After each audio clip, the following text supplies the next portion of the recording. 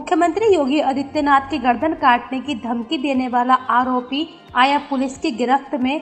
विगत 20 अगस्त को social media पर दूसरे फेक पेज बनाकर दी थी धमकी। संजय सैनी नाम के आरोपी ने फेक फेसबुक पेज बनाकर दी थी मुख्यमंत्री को धमकी। योगी की गर्दन काटने पर दो करोड़ देने की कही थी बात। मुरादाबाद के मंझूला थाना इलाके का रहने वाला है आरोपी। आज जैसा कि विदित आप लोग को कि कुछ टाइम पहले एक आत्म प्रकाश पंडित नाम की एक आईडी बनी थी जिसमें तेरह आठ से लेकर सत्रह आठ तक मुख्यमंत्री जी प्रधानमंत्री जी और देश के विरुद्ध अलग अलग टाइप की कमेंट्स पोस्ट किए गए थे जिस पे शिकायत हुई और एक मुकदमा लिखा गया था छः सौ अस्सी बटा बाईस सिविल लाइन्स में और उसमें साइब, साइबर सेल हमारे और सेल्लांस ने बहुत मेहनत अथक प्रयास करके एक व्यक्ति को गिरफ़्तार किया है। व्यक्ति का नाम संजय सैनी है।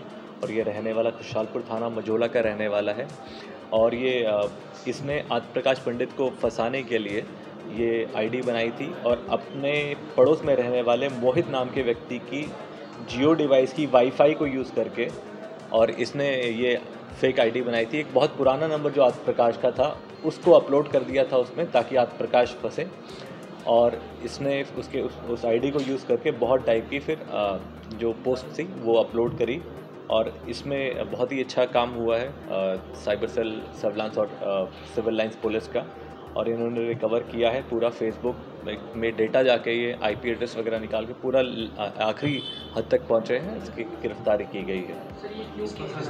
ये इसकी हिस्ट्री ये थी कि जो ये संजय सैनी है ये एक महिला से लड़की से प्यार करता था।